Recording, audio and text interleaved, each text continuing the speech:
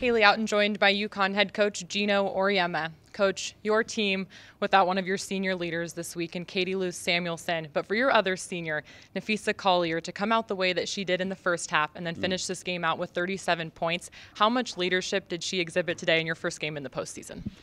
Well, um, there's really not much that you can say other than, you know, Fisa's just one of those special players that um, she's not affected by how much you ask her to do. You know, it's like the more you ask her to do, the more she'll do. Um, I, when I saw the stat sheet at halftime, I mean, I knew she was carrying us, but when I saw the 29 points and whatever she was doing and 10 rebounds, I was like, wow. You know, and in the locker room, we said somebody's got to help her out.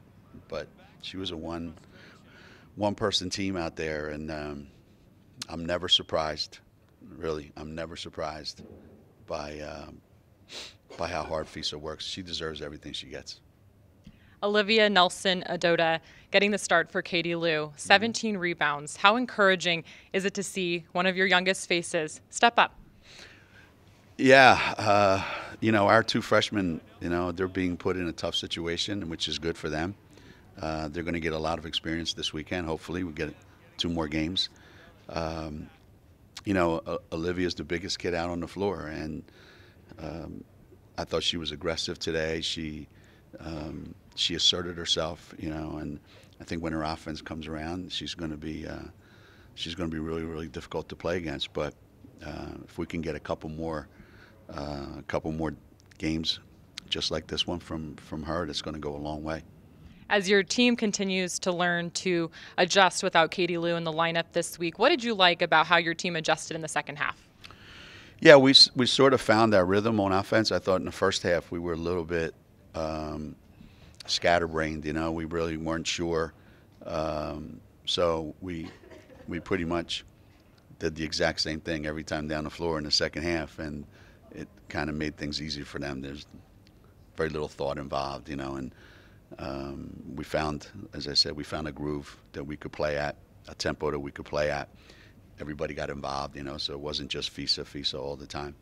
Um, so hopefully that can carry over, you know, that kind of, you know, spread it around kind of uh, kind of offense. Moving on to play USF in the semifinal, a team that has gone through quite a bit of adversity this year, played them to a very close game in Tampa, just mm-hmm. a 10 point game on Monday. What do you anticipate in this matchup tomorrow against a team that you are very familiar with facing here in the conference tournament? Yeah, we've certainly uh, have played them every year in the tournament um, I kind of knew uh, that we'd have to see them again. Um, unfortunately, it's not uh, Monday night like it normally is. But um, I think Jose's done an unbelievable job. I, I, think he he did the best job of anybody this year, given the circumstances that he he was uh, confronted with. And he's he's managed to to get his offense and his defense to the point where everybody really knows their role. So he's plugged in a lot of young players himself, and um, and they all know exactly where they're going. You know, they know who's going to get the shots. You know, their big kids are doing a fabulous job rebounding the ball and screening, playing good defense. Um, and they make it difficult for you to get anything in the lane. So you got to make jump shots against them. And um, tomorrow, that's that's going to be the biggest challenge. You know, can we make enough outside shots to take some pressure off of Feast? Thanks, Coach. Thank you very much.